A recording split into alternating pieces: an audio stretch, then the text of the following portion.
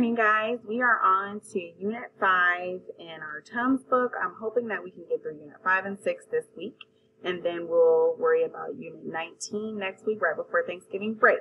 So, bear with me. We're squeezing in two units this week. We've already talked about the constant of proportionality, so these notes should be quick and easy. This assignment should be quick and easy, and let's go get it.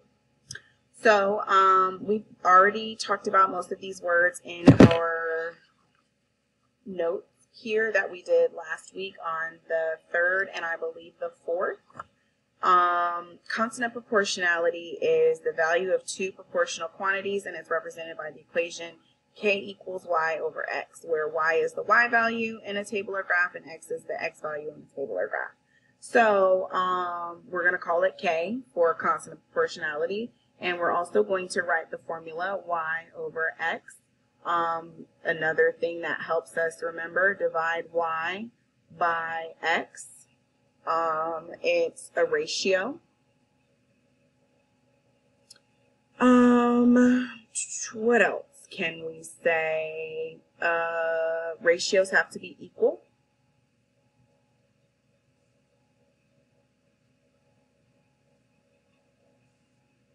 We could say y equals kx. So all we did was mix up this to get that and vice versa.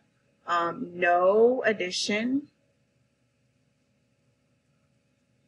or subtraction in the equation. Subtraction, um, hold please. K is a coefficient of x, and it can be a rational number. Hey y'all, I'm recording a video. How are you? Oh, it's just you. Good morning. So then down here, there are definition. Use the information from the word web to from the word web to write a definition for the term constant of proportionality. Make the definition as comprehensive and clear as possible and include an example. So I'm going to take the definition that we got right from our notes last week, and it's a ratio of two proportional quantities.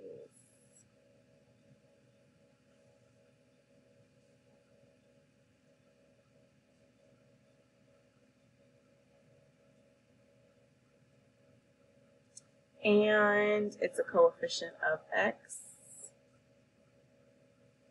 C O E F F I C I N T of x, and it's bound by y over x. Okay, remember you can get y over x from a table, you can get it from a graph. And remember, use the coordinate pairs to help you. All right, so on to notes from Unit 5. This is a lot to read here, so we're just going to jump into the try it and go for it.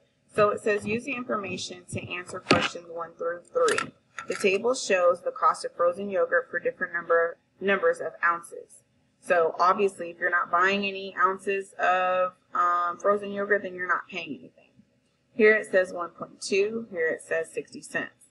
Here this says 3 ounces cost $1.50, and this says 4.5 ounces cost $2.25. I like to take easy numbers to divide by. So here I would do 3 into 1.5 because I only have one, one decimal to deal with. So write an equation to show the relationship between the number of ounces x and the cost y. So this is my y equals kx. Okay, so I have to find what k is. So this is an x, comma, y. y, boom, bam, this is x, this is y. x, 1.2, 60 cents. 3, 1.5, and 4.5, 2.25. So I'm going to take the easy one to divide, and I'm going to do 150 divided by 3. So K equals 1.5 divided by 3. And 3 goes into 15 five times, so this is $1.50. So I'm going to have 50 cents. Three sets of 50 cents and $1.50. So writing my equation y equals kx, I'm going to write y equals 0.5x. And there is my equation. k is 0.5. Okay. Now I have to make a graph. So I'm going to use these points to help me out. A proportional relationship always goes through the origin. So I'm going to put a dot there. And you only need two points to make a line. Only two points minimum to make a line. Because the definition of a line is an infinite number of points extending in one direction infinitely, or I'm sorry, extending in two directions infinitely. So there's one point, and then I can do three and one and a half. So I run three, and then I jump one and a half, and then I plot my point. And I could also do six, and that's going to be $3 because 150 times 2 is $3. So I also need a straight edge. Hold on, let me go get a ruler. All right, so I have my ruler. So I'm going to come here, put my straight edge through it. So make sure that I'm holding it steadily. Make sure I go through all the points. And this is why I usually make big points. And boom, bam, boom. Okay, there's my graph. And then it says, given the equation y equals kx, what is the constant of proportionality? All right, so once I've done all of this over here, this question is easy to answer. It says, given the equation y equals kx, what is the constant of proportionality? k, shown in the table equation and graph, it's just going to be 0.5. You don't put 0.5x, you don't put 0.5, or you can, I'm sorry, you don't put y equals 0.5x, you just put 0.5. That is the number that I'm multiplying each x value by to get y. And this is basically cutting it in half. Half of a dollar twenty is sixty cents. Half of three is a dollar fifty. Half of four point five is two twenty five. Half of six is three. That's the relationship there. So onto your homework. Pages fifty one through fifty six. And we're going to skip the activities. This is what we're going to get into for this week. It says the graph shows the proportional relationship between number of hours worked and total pay for workers at a factory. Given the equation y equals kx shown in the graph, which value represents k? So they're just giving me a graph here. I don't know what to do. So I need to look at the graph and find specific points. And then I can make a table. So I can do x, which is the number of hours, and y. So hours and pay. Then remember I only need two points to make a line, so I'm going to run and jump and see where I land. So this looks like 1 8 and this looks like 2 16. So 1 8 and 2 16. If I were to divide these, I would take 8 divided by 1. Whoops. I wrote 8 over y because I need to be writing the formula first. k equals y over x. And then I would say 8 divided by 1, which is 8. That's my constant of proportionality.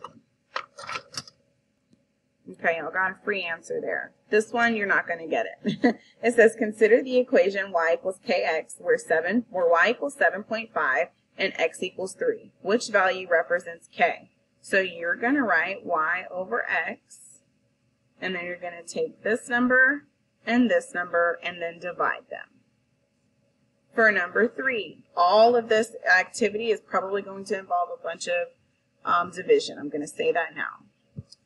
It takes Bobby and Jeremy 15 minutes to set up five tables. There's a rate, 15 minutes for five tables. If Bobby and Jeremy work at a constant rate, that's what they told me, which best describes a possible constant of proportionality? All right. So they give me minutes and they give me tables and then then they then they say three tables per minute and then five tables per minute. It's really weird to do um, or to set tables in a minute. And if I could do five tables in a minute, then I must be moving at Superman speed. So these um, rates are kind of ridiculous here. Three tables in one minute and five tables in one minute. These are absurd. So let's think about how we need to write this rate. And it's tables per minute.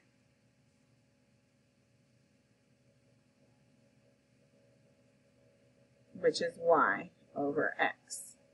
So I'm going to take my y value, the number of tables that they give me, and my x value, the number of minutes that they give me, and I'm going to divide.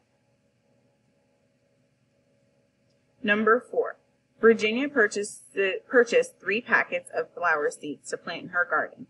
Each packet contained the same amount of seeds, and 45 flowers bloomed in Virginia's garden. What is the constant of proportionality that relates the number of blooming flowers to the number of seed packets planted? So remember we read ratios left to right in this case, not up here. So flowers per packet.